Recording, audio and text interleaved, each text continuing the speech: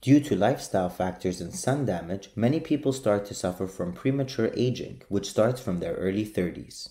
Sun damage can result in lines and wrinkles accompanied with dull, rough skin with enlarged pores, alongside mottled skin tone and areas of abnormal pigmentation.